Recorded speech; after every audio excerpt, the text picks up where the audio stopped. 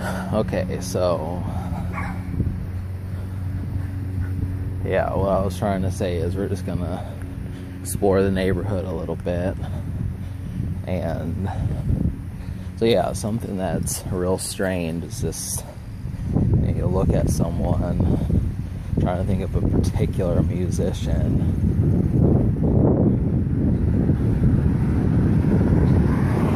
Something like that. Spielberg. You know, people will say Spielberg hasn't made a good movie since 1992.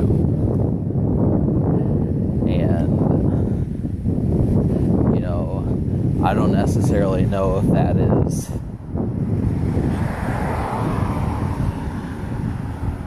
I don't necessarily know if that is like challenging to Spielberg, like that makes him want to get up and make more movies, or if it's more of an aggravating thing. Now, to me, this sort of premise gets on my nerves. You know, supposing when I get to year three and year four, and folks are going to keep saying, well, you're never going to beat your first couple years, it's like, forget it, you know. It's an un. It's like a word for this type of thing is it's an unsurmountable challenge. It's an unsurmountable task. It's a fool's errand. And I got that from Lost, you know my nice little quote. Got that from Lost, but so